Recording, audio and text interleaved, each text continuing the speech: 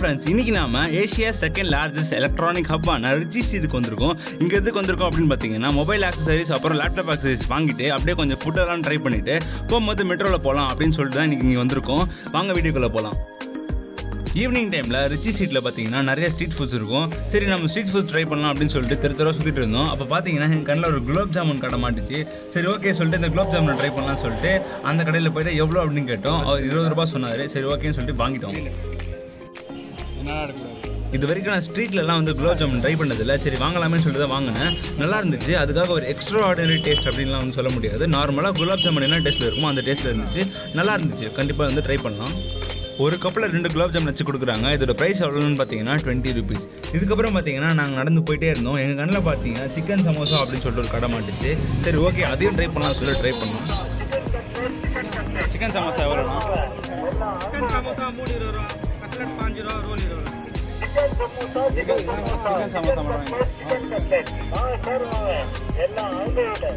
Chicken cutlet chicken ரோல்லாம் பார்த்தீங்கன்னா நிறைய இடத்துல நான் சாப்பிட்ருக்கேன் சிக்கன் சமோசா நான் வந்து நான் சாப்பிட்டதே கிடையாது. சரின்னு சொல்லிட்டு சிக்கன் சமோசா வந்து வாங்கியிருந்தேன். இதோட ப்ரைஸ் எவ்வளோன்னு பார்த்தீங்கன்னா மூணு சிக்கன் சமோசா வந்து டுவெண்ட்டி ருபீஸ்க்கு வந்து கொடுக்குறாங்க. நல்லா தான் இருந்துச்சு. சரி சிக்கன் சமோசாவுக்குள்ள சிக்கன் இருக்கான்றதை செக் பண்ணுறதுக்காக நாங்கள் என்ன பண்ணோம்னா சமோசாவில் ஓப்பன் பண்ணி பார்த்தோம். அதில் பார்த்தீங்கன்னா குட்டி குட்டி பீசஸ் ஆஃப் சிக்கன் வந்து போட்டிருந்தாங்க. டுவெண்ட்டி ருபீஸ் அவங்க எவ்வளோ சிக்கன் வைக்க முடியுமோ அவ்வளோ சிக்கன் வந்து வச்சுருக்காங்க. அங்கே ட்ரை பண்ண ஃபுட்ஸ்லேயே பார்த்தீங்கன்னா எனக்கு சிக்கன் சமோசா வந்து பிடிச்சிருந்துச்சு. நீங்களும் ருச்சி ஸ்ட்ரீட் போனீங்கன்னா கண்டிப்பாக சிக்கன் சமோசா வந்து ட்ரை பண்ணி பாருங்கள்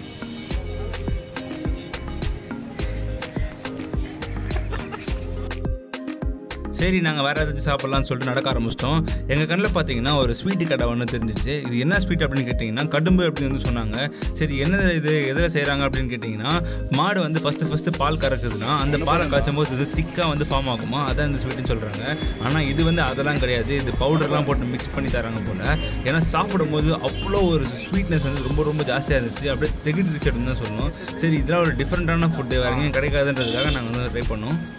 ஒரு ஸ்வீட்டுக்கு மேலே நம்மளால் சாப்பிட முடியல. ஏன்னா அவ்வளோ ஒரு ஸ்வீட்னஸ் இருக்கிறதுனால பயங்கரமாக திக்கிட்டு இதோட ஒரிஜினல் ஃப்ளேவர் வந்து நான் சாப்பிட்ருக்கேன் பால் கடும்பு வந்து. ஆனால் இங்கே வந்து பார்த்தீங்கன்னா அது ஒரு டூப்ளிகேட் அப்படின்னு தான் வந்து சொல்லணும். ஆனால் ஒரு டிஃப்ரெண்ட்டான ஸ்வீட்டு அப்படின்னா நீங்கள் ட்ரை பண்ணலாம். டிஃப்ரெண்ட்டான ஸ்வீட் சாப்பிடணும்னு நினச்சிங்கன்னா ட்ரை பண்ணலாம்.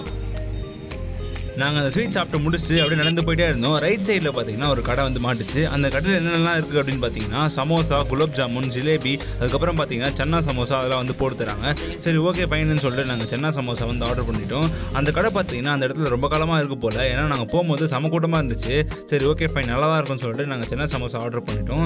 அந்த கடையில் பார்த்தீங்கன்னா ஒரு சென்னா சமோசாவோட பிளேட் ஒன்று வந்து டுவெண்ட்டி ருபீஸ் அந்த கடையில் பார்த்தீங்கன்னா அவங்க வந்து கொடுக்குறது பார்த்தீங்கன்னா லீஃப் பிளேட்டில் தான் வந்து கொடுக்குறாங்க. பயோடிகிரேடபிள் அந்த பிளேட்டில் தான் கொடுக்குறாங்க. விச் இஸ் குட் திங் அந்த ஜனா சமோசாவோட ஃப்ளேவர் எப்படி இருந்துச்சுன்னு பார்த்தீங்கன்னா டீசெண்டாக நல்லா இருந்துச்சு. ரொம்ப ஒரு எக்ஸ்ட்ரா மசாலா ரொம்ப காரம் இல்லாமல் ஒரு மாதிரி நார்மலாக சட்டிலாக இருந்துச்சு. நல்லா இருந்துச்சு. அங்கே போனீங்கன்னா ட்ரை பண்ணி பாருங்கள் அந்த கடையில் சென்னா சமோசாலாம் சாப்பிட்டு முடிச்சுட்டு நாங்கள் மொபைல் ஆக்சசரிஸ் வாங்குறதுக்காக மொபைல் ஆக்சசரிஸ் கடைக்கு போயிட்டேன். அந்த கடையில் தான் நான் எப்போவுமே வந்து பார்த்தீங்கன்னா மொபைல் ஆக்சசரிஸ் வாங்குவேன். ஏன்னா நிறைய கலெக்ஷன் இருக்கும். சரி நாங்கள் மொபைல் ஆக்சசரிஸ் எல்லாம் வாங்கிட்டு அதுக்கப்புறமா நாங்கள் மெட்ரோ ஸ்டேஷனுக்கு போக ஆரம்பிச்சிட்டோம். சப்போஸ் நீங்கள் சென்னை மெட்ரோவில் ட்ராவல் பண்ண போகிறீங்கன்னா சிஎம்ஆர்எல் சொல்லிட்டு ஒரு ஆப் இருக்குது இது நிறைய பேருக்கு தெரியாது. இந்த ஆப்பில் போய் நீங்கள் டிக்கெட் புக் பண்ணிங்கன்னா நார்மல் கவுண்டர் ப்ரைஸ் டிக்கெட்டை விட கொஞ்சம் கம்மியாக இருக்கும். இப்போ suppose normal counter price ticket வந்து ஃபிஃப்டி ருபீஸ் சார்ஜ் பண்ணுறாங்கன்னா இந்த ஆப்பில் வந்து புக் பண்ணிங்கன்னா உங்களுக்கு ஃபார்ட்டி ருபீஸ் தான் ஆகும். நாங்கள் கவர்மெண்ட் எஸ்டேட்டில் இருந்து பார்த்தீங்கன்னா ஏர்போர்ட் ஸ்டேஷனுக்கு போகிறதுக்கு ஃபார்ட்டி ருபீஸ் கவுண்டர் டிக்கெட் ஆனால் இதில் பார்த்தீங்கன்னா தேர்ட்டி டூ ருபீஸ் தான் வந்து ஆச்சு. மொத்தமாக நாங்கள் ரெண்டு பேருக்கு போகிறதுக்கு சிக்ஸ்டீன் ருபீஸ் வந்து சேவ் பண்ணோம் இந்த டிக்கெட் எப்படி இருக்குன்னு இப்போ நான் காமிக்கிறேன். நம்ம நார்மலாக கவுண்டர் டிக்கெட் வாங்கும்போது பார்த்தீங்கன்னா ஒரு காயின் மாதிரி வந்து கொடுப்பாங்க. அந்த காயின் எடுத்துகிட்டு போய் நம்ம அங்கே வைக்கும்போது ஸ்கேன் ஆகி ஓப்பன் ஆகும். ஆனால் கியூஆருக்கு தனி கவுண்டர் இருக்கும். அங்கே போயிட்டு நம்ம கியூஆர் கோடை ஸ்கேன் பண்ணி உள்ளே போகிற மாதிரி இருக்கும். அந்த கவுண்டர் நிறைய பேர் கூட இருக்க மாட்டாங்க. கம்மியான பேர் தான் இருப்பாங்க. சொல்லப்போனால் யாருமே இருக்க மாட்டாங்க. அதனால் நீங்கள் அப்படிக்கா போகும்போது உங்களுக்கு வந்து டைம் வந்து சேவ் ஆகும். இந்த ட்ரெயின் பார்த்தீங்கன்னா நாங்கள் வெயிட் பண்ணிட்டு இருந்த நேரத்தில் ஆப்போசிட் பிளாட்ஃபார்மில் வந்துச்சு. சரி ஓகே வீடியோ எடுக்கலாம்னு சொல்லிட்டு நானும் வீடியோ எடுத்தேன். நாங்கள் வேறு ட்ரெயின் பார்த்தீங்கன்னா ஒரு செவன் மினிட்ஸ் வெயிட் பண்ணுற மாதிரி இருந்துச்சு. சரி சொல்லிட்டு வெயிட் பண்ணுற நேரத்தில் என்ன பண்ணுறதுன்னு தெரியாமல் வீடியோ எடுத்துகிட்டு இருந்தேன். மெட்ரோ ட்ரெயினில் பார்த்தீங்கன்னா டோர்ஸ் ஓப்பன் ஆகிறதே பார்த்தீங்கன்னா பியூட்டிஃபுல்லாக இருக்கும். அது எப்படி ஓப்பன் ஆகும்னு பார்த்தீங்கன்னா பிளாட்ஃபார்மில் ஒரு டோர் இருக்கும் ட்ரெயின் ஒரு டோர் இருக்கும். ரெண்டு டோரும் அட் டைமில் ஓப்பன் ஆகும்போது தான் நம்ம வந்து உள்ளே போக முடியும். எல்லாமே பார்த்தீங்கன்னா சென்சார் பேஸ்டு தான். இது எல்லாமே ஓப்பன் ஆகும்போது டக்குன்னு நீங்கள் பார்க்கும்போது அங்கே ட்ரெயின் நிற்கிற மாதிரியே இருக்காது. ஏதோ ரூம்குள்ளே போகிற மாதிரி இருக்கும். தூரத்துலேருந்து பார்க்கும்போது அப்படி தெரியும். ஏர்போர்ட் ஸ்டேஷனுக்கு போக வேண்டிய ட்ரெயின் பார்த்தீங்கன்னா இன்னும் ஒன் மினிட்ல வரும்னு போட்டிருந்தாங்க. சரின்னு சொல்லிட்டு நாங்கள் வெயிட் பண்ணிட்டு இருந்தோம். ட்ரெயினும் பார்த்தீங்கன்னா வந்துருச்சு.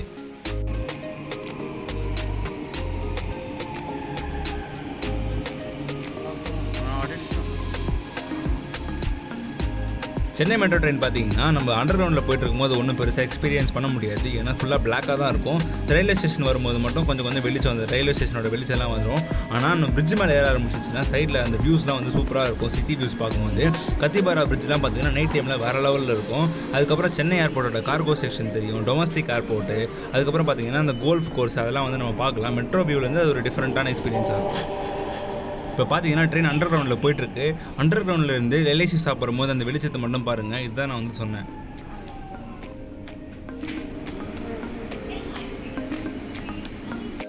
இப்போ நம்ம பார்த்துட்டு இருக்கிறது பார்த்தீங்கன்னா மெட்ரோ ட்ரெயின்லேருந்து கத்திப்பாறை ஃப்ளைஓவரோட வியூவை பார்த்துட்டு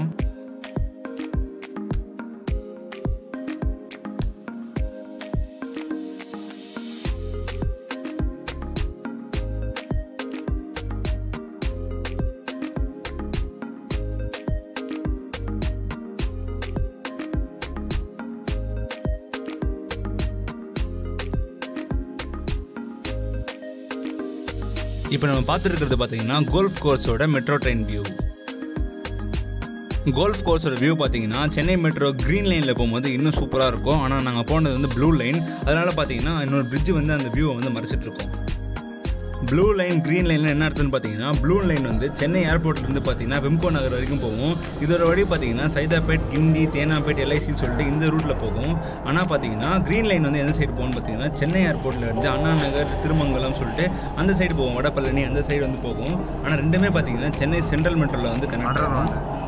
க்ரீன் லைனோட கடைசி ஸ்டாப் பார்த்தீங்கன்னா சென்னை சென்ட்ரல் ஆனால் ப்ளூ லைனோட கடைசி ஸ்டாப் பார்த்தீங்கன்னா விம்கோ நகர். ப்ளூ லைன் தான் பார்த்தீங்கன்னா ரொம்ப லென்த்தான லைன் இப்போ நம்ம பார்த்தது என்னன்னு பார்த்தீங்கன்னா சென்னை ஏர்போர்ட்டில் கார்கோ செக்ஷன் ஃப்ளைட்ஸ் எல்லாம் நிற்கிற இடம்.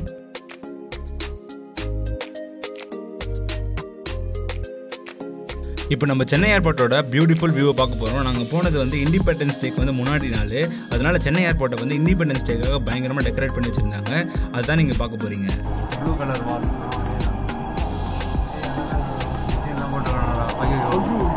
ரொம்ப நாட்டுக்கு தெரியும் wait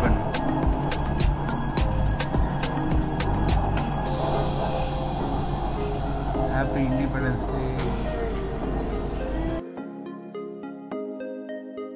domestic ஏர்போர்ட்டை மட்டும் இந்த லெவலுக்கு பண்ணி வச்சிருக்கானுங்க. இண்டிபெண்டன்ஸ் டே வரதுனால பார்த்தீங்கன்னா ஏர்போர்ட் மெட்ரோ ஸ்டேஷனே பார்த்தீங்கன்னா சூப்பராக லைட்ஸ்லாம் போட்டு டெக்கரேட் பண்ணி வச்சுருந்தாங்க. இதே மாதிரி food and travel related videos பார்க்கணுன்னா நம்ம சேனல் சப்ஸ்கிரைப் பண்ணுங்கள் தேங்க்யூ ஃபார் வாட்சிங்